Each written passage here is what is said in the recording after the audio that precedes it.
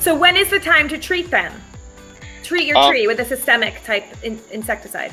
Yeah, so depending on what kind of systemic you're using, you can um, you can treat anytime during the growing season. Okay. So um, right now we're doing treatments, and we're doing treatments starting in the spring.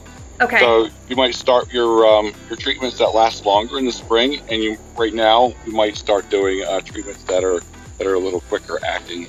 Um, and then toward the fall, um, we might start doing some treatments that are longer acting that are going to help for uh, 2000.